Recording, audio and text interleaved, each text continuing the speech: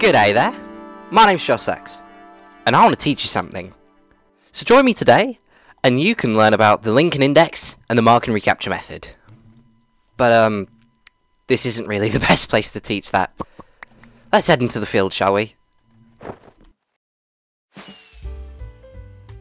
The Lincoln Index is used across multiple disciplines, but it's mainly used by conservationists to find out an estimate for a population size.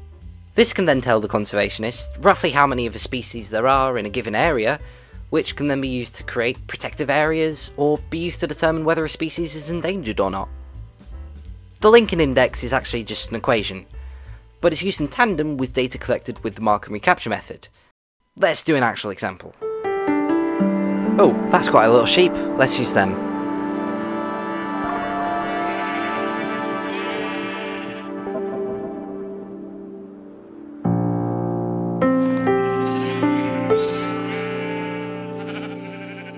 Now, these sheep may not be endangered, but let's use them as an example. So here's the situation. There are a lot of sheep here. Far too many to count. But, I do want to know roughly how many there are in this field. So to save time, let's use the Lincoln Index. But remember, that's just a calculation. And in order to be able to do that calculation, we need data. So let's collect the first part of this data. And to do this, I'm going to use name tags labelled Group 1. In the real world, scientists would use small, unobvious markings or similar, but we can't do that in game, so name tags will have to do.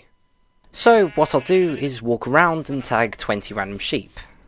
I'll do you, do you, do you, you, you, you, you, you, you, you, you, you, you, you, you, you, you, you, you're not a sheep, you, you, and that's it. This will be our group 1. Now I'll wait a decent enough amount of time that the sheep will mingle together and move around, but not be enough time that they could all be eaten by predators. Okay, time for group 2.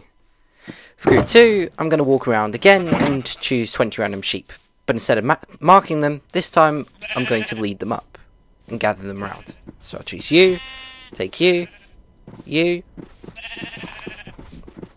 I'll take you, I'll take you, I'll take you, I'll take you, I'll take you, I'll take you, I'll take you, I'll take you, I'll take you, I'll take you, I'll take you, I'll take you, I'll take you, I'll take you, I'll take you, I'll take you, won't take you, and I'll take you. And I'll just put them over here. That is not 20 sheep. Where have I lost my sheep? One second. Now that we've collected the sheep, we need to count how many sheep in group 2 were also in group 1. So I'll check each sheep and note down how many were marked to be in group 1. To make this easier for myself, I'll dye all unnamed sheep red and all sheep named group 1 to be blue. But this is just so that I don't miscount by accident.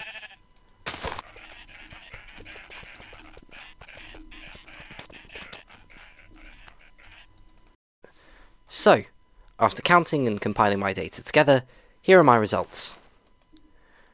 We had 20 sheep in group 1, 20 sheep in group 2, and 4 sheep that appeared in both groups. Now let's put that in the Lincoln Index calculation. N1 is group 1, so that'll be 20. N2 is group 2, so that'll be 20 again and then 3 is the number of sheep which appeared in both, which is 4. So let's do the math. 20 times 20 is 400, divide that by 4, and we get 100. So, after our calculations, we have an estimate of 100 sheep in this field. But how do we know that's actually correct? Welp, I've got the sheep farmer and owner of this field to tell me the truth. So, sir, how many sheep do you actually have here? Well, let me check. By using a command to give all the sheep in the area a random effect, I can tell exactly how many sheep there are here. So let's check that then. 96. That means, because it give 96 sheep the effect, it means we got 96 sheep in this field. 96 sheep in total. Is that good for you? That is perfect, thank you so much. 96 then? That is only 4 off of our estimate. That's pretty much perfect. Let's head back to the studio. Woo! Perfect landing. Great to be back in here. Now, before I wrap things up, there are just a couple things I want to discuss. Namely, the limitations. Firstly, the size of the group does matter.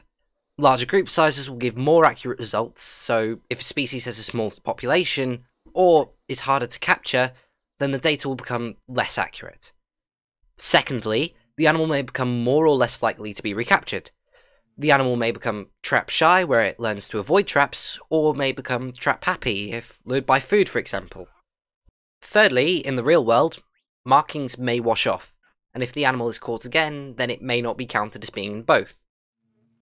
And lastly, this doesn't work on sessile organisms, which means organisms that can't move on their own.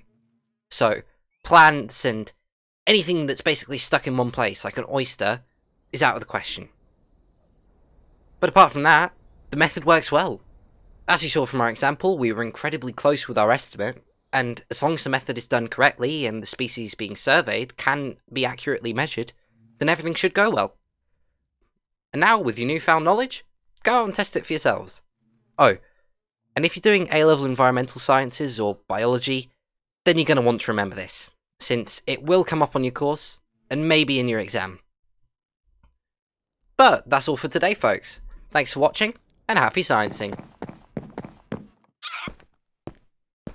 Wait.